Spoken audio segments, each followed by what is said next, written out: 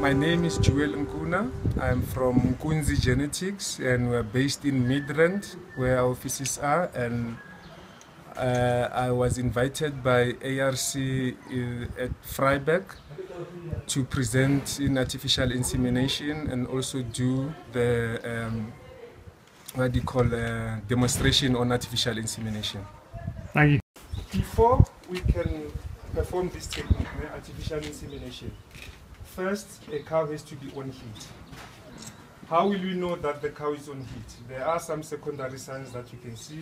You'll see there's patches of mountains and that on the tail head, you'll see the hair will be up.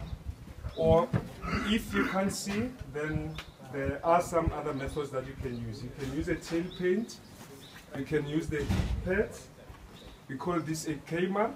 Well, this is expensive. I'd rather use the uh, tail paint or the heat patches. At least those are less expensive. So when you use this one, you just stick it here. If you can detect heat by your own eyes, you just stick it here. When the cows mount each other, they break this tablet in here and then it becomes red. So those that are red, you'll know that they are on heat. So if you are sure that, okay, my cow is on heat, you make sure what is the number because record keeping is very important. You don't want inbreedings later on. Make sure that uh, take the number and also go to your catalog and see which bull that you want to use because some of us use different bulls, even if it's the same breed. Use uh, different, uh, uh, different bulls. So I'm sure now that my cow is right on heat. I restrain it, more especially the big animals. Eh? We know that they are very dangerous. If you just go behind it and try to to be nice behind it, and then it will kick you very strongly. Okay, what we need on the equipment side, né? this is my thawing bath. You need this uh, thermometer, pistolet, this is an AI gun. You need some sheets, scissors, lubricant, sanitary sheets, we call these condoms, cotton wool or tissue paper, and gloves. Yeah, I think that's it. And on the other side, this is my pool. The flask, we call it liquid nitrogen flask. So inside here, it's liquid nitrogen with the, uh, the semen straws, the straws in here. Liquid nitrogen is minus 196 degrees Celsius, so it can preserve your, uh, the semen indefinitely. You can still use, as long as you top it up with liquid nitrogen, you can use it maybe after 20, 40, even 50 years. It depends how long do you store it. And there's canisters, these holders here, we call them canisters, and they are marked one up to six. So in number one, you'll know which bull is in here if your records are right. ne? So now I'm using number four, making sure that uh, all the straws are marked. ne? Each and every bull here is marked, like they have codes. Brahman, for example, is BR, Bonsmara is BO, Holstein Friesland is FR, like that. So make sure that you take it as quickly as possible and then you insert it inside into the thawing bath and then it must stay here for about 20 seconds, not less than 20 seconds. It can be more than 20 seconds, is fine, but not less than 20 seconds. The temperature of the water. Uh, sorry, I didn't mention the temperature of the water. The temperature of the water is body temperature, ne? 35 up to 37, 35, 36, 37. This is the right temperature to thaw the semen in. and you leave it for about not, uh, not less than 20 seconds. Now I'm onto my AI gun. You make sure that the AI gun is also warm, ne? because if it's not, it's cold and this one, the, straw is warm, there'll be a temperature shock. But now what I'm mostly doing most of the time, I'm just putting, uh, putting it into my thawing ne? for about maybe 20 to 40 seconds. And make sure that you take the water out. Clean it, I think now it's more than 20 seconds. checking that is the, is the right straw, white bit. And you don't have to touch in the middle, ne? Mm-hmm. because there'll be also a temperature shock. Make sure that it's also on the sides that where you, where, where you touch it.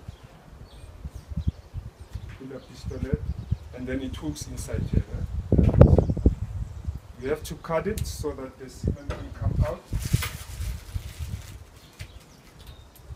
Now you put in the, uh, the sheet. You see this green part, ne? the green tip here. That's where the semen comes out, and this thing it also blocks the straw that it mustn't go inside the cow. I am locking it, and now the condom. You'll ask yourself, why am I putting the condom in? eh? this is to prevent all the foreign objects that they mustn't go through the cervix because as you know that I have to go through the cervix and the cervix part ne, the purpose of the cervix is to prevent the foreign objects so that they mustn't go inside where there's uh, fertilization is going to take place and all the time make sure that there's shade where you work right? Because the sunlight you, do, you don't need the sunlight the sunlight and the sperm cells are there. I mean, the sun, the sun, the sunlight is very dangerous to the sperm cells. And now, my glove on, my glove on.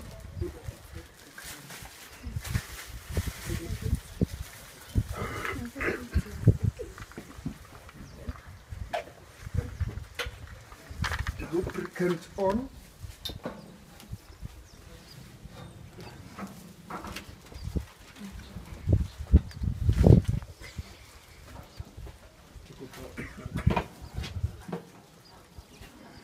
Can you please help me with the tail up?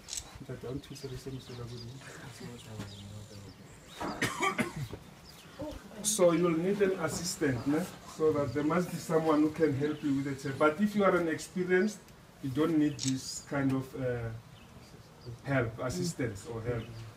So you just put the tape on your side and then you just go, uh, go straight into it. So what am I going to do now? Uh, I'm going to put my hand in, but I make sure that it's cone shaped. eh? Inside the rectum. And start cleaning now. Taking the dung out. Not a nice job, ne?